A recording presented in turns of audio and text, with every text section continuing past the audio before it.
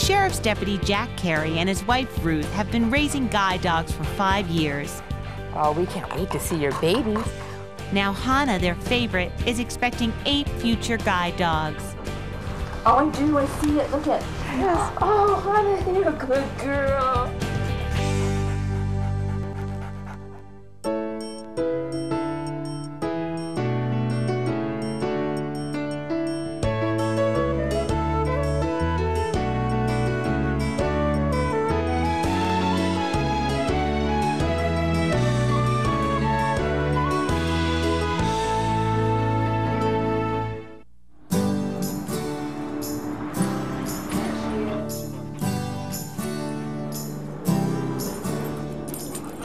Hannah is pregnant with her first litter, and she is due in about a week.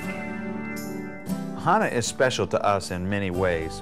She is just a real loving dog. She's a lover. She likes to have you pet her, and she'll sit next to you and just let you stroke her. Hannah is special because she's going to be a good mommy. She's my good friend. She's a good companion. She's sweet. She's lovable.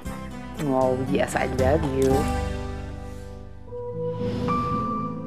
About two years ago, we each had separate accidents. Ruthie had one where she was hit by a car and broke her collarbone. I had one about two months later or so where I crashed my motorcycle and also broke my collarbone. We were focused quite a bit on recovery and our own selves. Hannah was, was the ticket for us to quit focusing on our own selves and we needed to, to get on and get recovered and get back to our lives. And she was just perfect to help us do that. Know when they put their vest on that they're going to work. We initially got her at, to raise as a guide dog puppy. Well, they liked her features and her line from her mother and her father. So as a result, they said, they said, let's breed her. And they asked us, would you mind keeping her as a breeder? And we were just ecstatic. And that's where we're at today. Two and a half years later, she is uh, ready to have her first litter.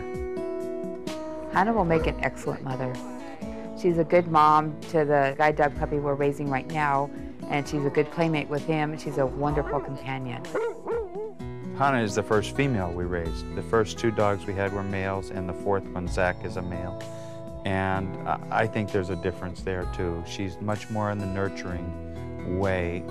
She's always willing to just let you adore her like this.